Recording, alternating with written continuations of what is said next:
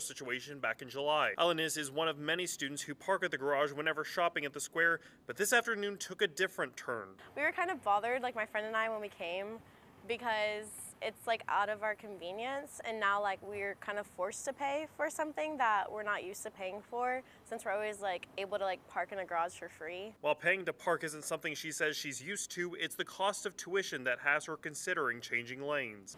Not knowing how long like you're gonna have to like pay for parking, I think it's gonna probably affect like us coming less because if say like something's wrong with the garage and we have to pay, even just a little expense adds up so fast, especially as a college student and just tuition itself is really expensive. But after taking the day to inspect the facility, the Century Square management team says their engineer found no safety or structural concerns and are ready to resume normal parking operations. You would think an area like this never would have free parking and that the fact that it does have free parking for such a nice area is like really nice, especially since we're college students. And continuing providing even more spots for college students. In College Station, William Johnson, KAGS News.